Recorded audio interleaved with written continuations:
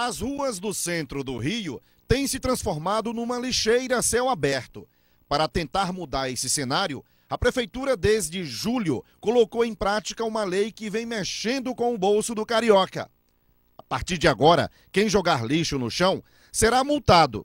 Agentes públicos vão anotar o CPF do infrator e a punição é de 157 reais. Quem não informar o CPF será levado para a delegacia.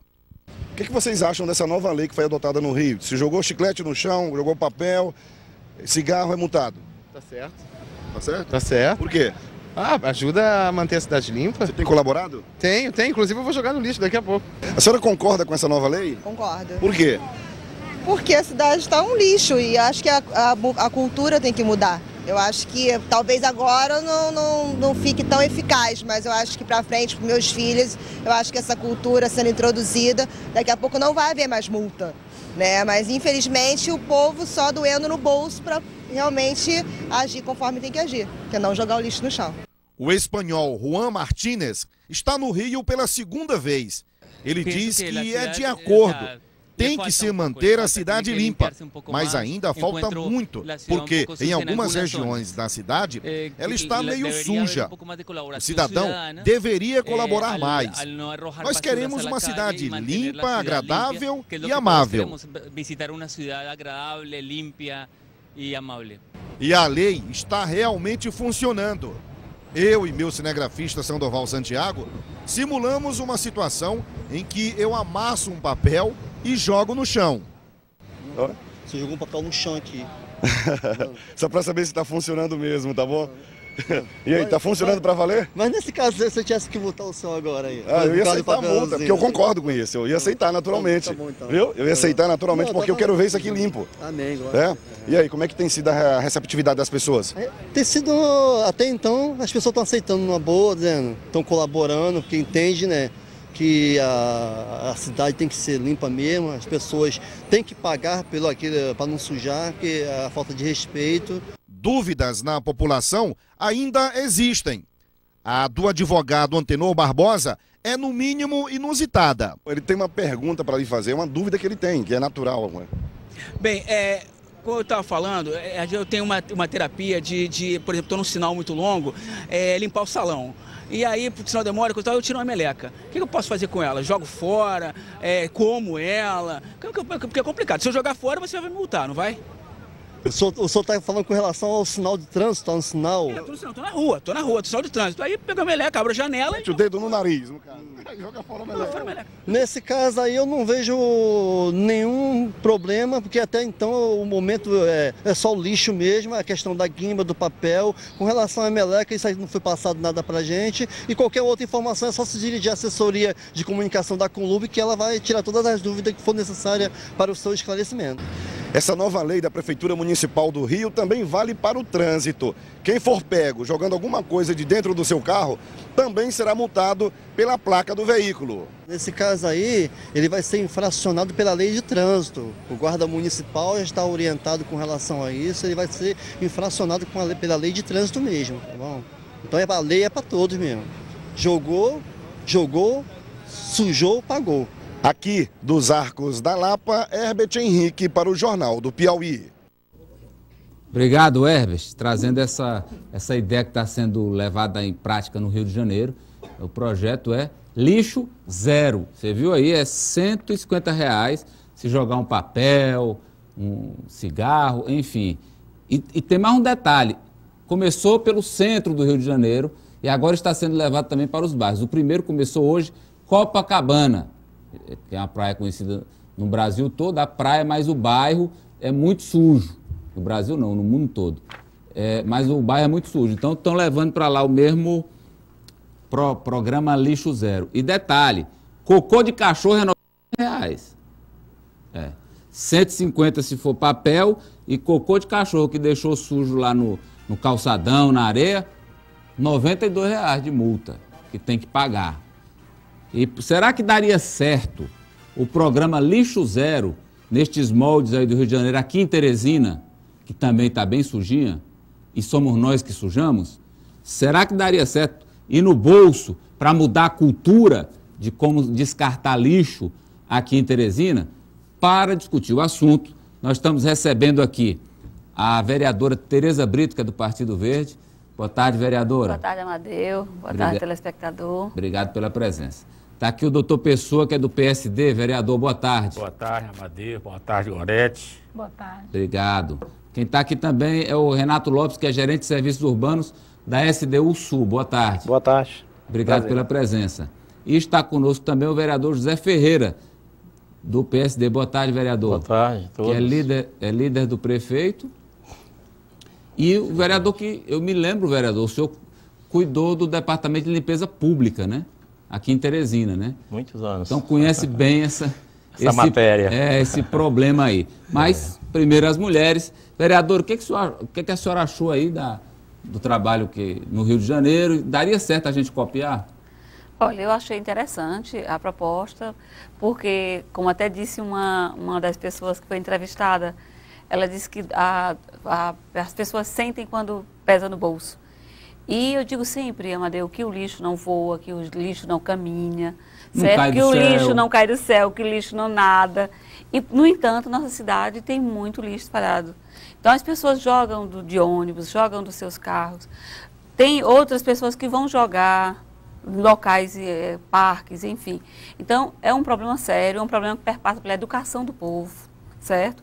O lixo provoca doenças, eh, contamina o lençol freático, contamina o próprio solo. Então, é preciso a gente cuidar da nossa cidade, é preciso a gente não eh, jogar lixo em qualquer lugar, jogar o lixo no local correto.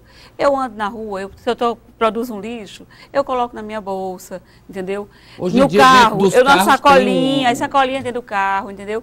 Então, minha família toda faz isso, a gente orienta, as pessoas do próprio Partido Verde, a gente orienta a fazer isso, quando às vezes elas entram e não têm um conhecimento, a gente coloca para elas, entendeu? Então, é muito importante a gente limpar, a gente cuidar da cidade.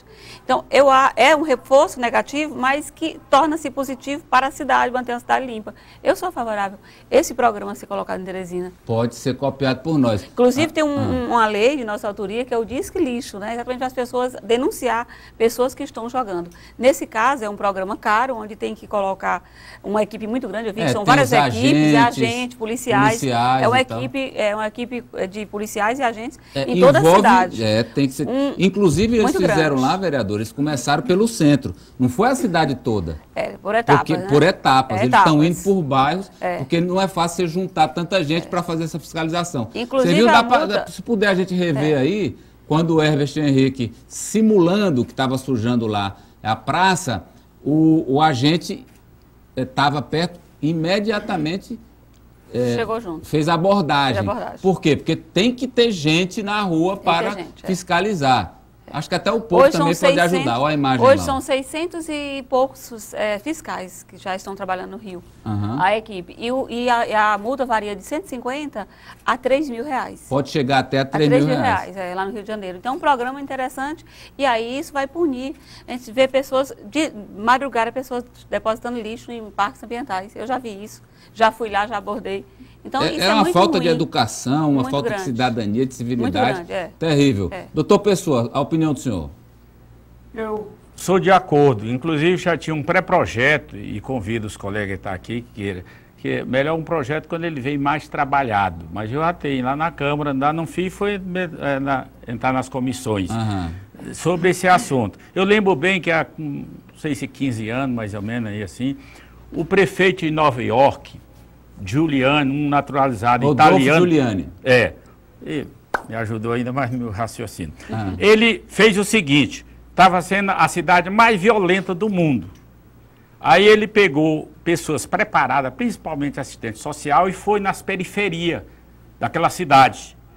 E fez um trabalho social profundo, bem feito, bem, um, inclusive botando lugares para que as pessoas tivessem risco de, de- da miséria, de- do- da- da- do- das ações criminosas, Da etc., que se aproximasse. É. E fez, e não lembro bem, mas parece que foi bem uns seis meses ou mais esse trabalho, ou foi um ano. Depois, esse próprio prefeito aí que você ajudou, é, é, o, o nome dele, foi na polícia. Polícia que tinha um terço ou mais, ou a metade podre. Como tem aqui, como tem no, no Brasil todo. Limpou. Aí disse, tolerância zero. eu sou a favor desse, desse, desse projeto de lei, mas que a cidade de Teresina, principalmente começando no centro, como você, Vossa Senhoria já falou, que dê uma roupagem administrativa da limpeza e da, da, da revitalização do centro da cidade, como um todo. Porque o doutor Silvio Mendes, bem lembrado o, nome dele aqui, fez um pedaço. Mas o, ainda resta muito. Eu não posso cobrar de uma pessoa que às vezes não teve oportunidade de cultura. Eu quero abrir um parênteses. A, a, a, já eu, médico, vez em quando eu comia um bombonzinho e jogava para a janela do carro. Eu digo, eu e vereador, alguém ah. vai ali me fotografar, eu, alguém vai dizer, é médico, é vereador, não tem cultura, fica sujando a cidade, vê que uma cultura é importante para isso. Eu coloquei na minha cabeça que não deveria nem botar nenhum um canto daquele. E é um raciocínio assim, vereador. Será que dentro de casa a pessoa joga tá aqui no, no quarto, aí pega um, um, papel de picolé e joga no chão, joga o palito de picolé no chão dentro de casa, Não, então mas, o que é que faz na rua? Mas por falta de cultura, Matheus, por falta de oportunidade, muito dele, e até deles que tem um pouquinho de, de não é só leitura não, de cultura mesmo. Às vezes joga suja mesmo, a mãe reclama, etc, etc. Então, resumindo... A limpeza não tem muito a ver com escolaridade, não, né? Essa não, educação não é, de limpeza. Diretamente não, mas em parte tem. Pelo menos eu, eu acho meu conceito. Ah. O que eu, que, eu, que, eu, que eu quero e recomendo e gostaria que os colegas, se quisessem fazer esse projeto comigo. Primeiro, da estruturação do centro da cidade. Ah com estruturação, aquelas uh, buraqueira, calçada, é, garagem ali aberta, não sei o que, etc, etc, melhorasse. Aí calçada para o povo Calçada para o povo. Não tem. Divulgação, Castilha, meio de comunicação aqui na TV. Carro não pode estar em cima de calçada. Na TV Cidade Verde é de ser demais. Carro não ficasse em cima da calçada. Aí sim, da, de, aí dava um prazo, da, de determinada data. É, para se adaptar. Para se adaptar. Aí, educação. Educação. educação. Re, re, re, reconduzir, re, reorganizar a cidade, que é uma ah. tristeza. O Rio de Janeiro é também uma tristeza. Mas eu estou dizendo, é meu pensamento.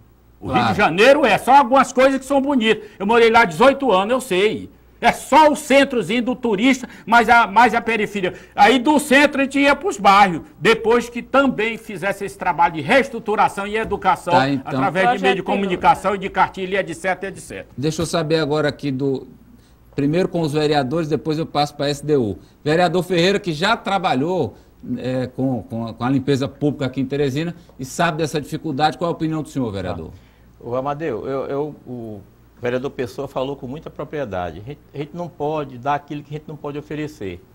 Então a gente tem que cobrar da sociedade, da população, mas a gente tem que oferecer as condições, proporcionar as condições também. Temos que dar uma nova roupagem à cidade, colocar é, coletores e pontos estratégicos para a população também destinar seus seu lixo que ele produziu durante a sua caminhada no próprio, nas próprias ruas. O senhor está na rua, está comendo alguma coisa, um saco de pipoca, até onde jogar e tal. Então, eu tenho que passar, tenho que, eu sou partidário, acho que talvez número um, não, talvez seja número dois, da campanha educativa. Tem que haver campanha educativa sanitariamente. Nós somos, nós somos um... Mas tem que ter punição também, tem que Sim, ir no mas a, a, também. punição, quando você insiste na, na, na, na educação, e a pessoa, na educação sanitária, e se não há uma...